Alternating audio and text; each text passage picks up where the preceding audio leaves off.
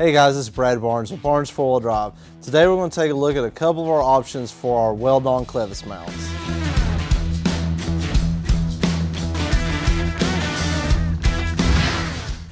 Okay, so first let's take a look at uh, our 3 quarter inch variation. So it's 3 quarters of an inch thick and uh, as you can see this one's a little bit taller than our 1 inch version.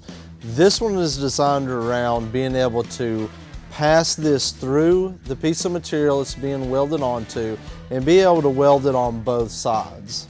The thicker one inch version is made to be welded flush. It's a little bit shorter so you don't have a lot of leverage on your welds. Uh, it has a larger weld area. We've increased the width of the base here. It kind of looks like a triangle.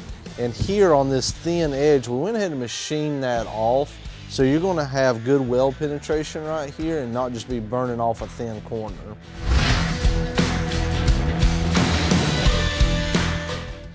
Hey, thanks for watching our video. Be sure to like and subscribe and hopefully we'll see you out on the trail soon.